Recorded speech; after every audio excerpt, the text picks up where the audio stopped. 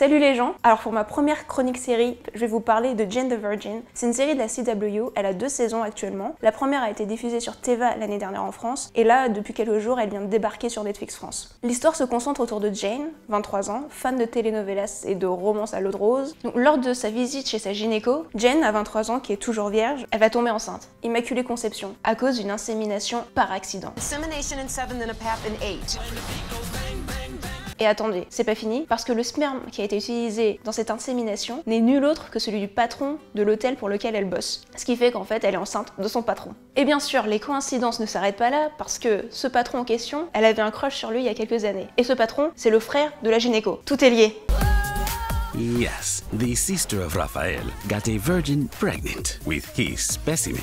Sauf que bien entendu, elle est pas célibataire la petite Jane. Non non non, elle a un copain, Michael, qui est policier de son état, qui est trop mignon. Je le dis d'abord Tim Michael. Il va pas trouver ça terrible que sa fiancée soit enceinte d'un autre homme, ce que je comprends.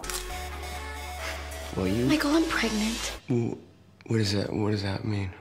Et donc là, on a le triangle amoureux qui est un peu la base de toutes les telenovelas. L'autre aspect de la telenovela, c'est tout ce qui est drogue, cartel de drogue, baron de la drogue. Michael est en train de plancher sur un dossier qui est relié à l'hôtel où bosse Jane, donc euh, qui appartient à Raphaël, euh, l'inséminateur en question. La première saison commence sur des petits meurtres qui sont liés au trafic de drogue de ce baron euh, qui s'appelle Sinrostro, qui va être le fil rouge de toute la première saison. Pendant ce temps-là, Jane, donc qui est en train de continuer sa grossesse, va continuer à vivre sa vie aussi elle aspire à être écrivain, donc en même temps pour gagner de l'argent, elle est serveuse. Jane, elle a grandi avec sa mère et sa grand-mère. Sa mère, elle a eu très jeune, à 16 ans, et elle a un peu peur que Jane reproduise le même schéma qu'elle. Jane, elle a jamais connu son père. Sauf qu'on apprend dès les premiers épisodes en fait que c'est une très grande star de la telenovela, et pas n'importe quelle telenovela, puisque c'est une série qu'elle suit en fait avec sa mère et sa grand-mère tous les jours. Donc son père, Aurelio, il est très apprécié des fans. Il en fait toujours des tonnes, il exagère beaucoup dans son jeu, mais c'est pas du tout grave parce qu'en fait, comme on est dans une telenovela, on s'attend à ce que tous les acteurs en fassent trop. L'un des thèmes les plus intéressants dans la série, c'est la relation père-fille, parce que comme ils se connaissaient pas du tout, ils vont se découvrir. Toujours dans l'esprit de la telenovela, il y a des petits gimmicks comiques. Par exemple, on prend la grand-mère, elle ne parle jamais anglais tout le long de la série, elle parle qu'espagnol. Dans la version française, d'après ce que j'ai compris, la grand-mère parle en français, ce que je trouve un peu bizarre et carrément dommage, donc euh, je vous conseillerais de la regarder en VO. Donc il y a cet aspect familial et surtout il y a cet aspect diversité, vous l'avez compris. Elle aborde aussi des sujets comme la religion, l'immigration, la discrimination c'est vraiment très divers. Et ça c'est chouette pour des séries de la CW de sortir un peu des sentiers battus. Ce qui est bien dans Jane, c'est que tout est imprévisible. Parce que parfois dans les séries, il se passe beaucoup de choses, il y a des twists et des rebondissements, et on se dit, euh, vous me prenez pas un peu pour un imbécile là? Sauf que dans Jane, en fait, on s'attache vraiment à ce qui arrive au personnage, et du coup on en redemande. En particulier Jane, qui est super fraîche, qui a une joie de vivre,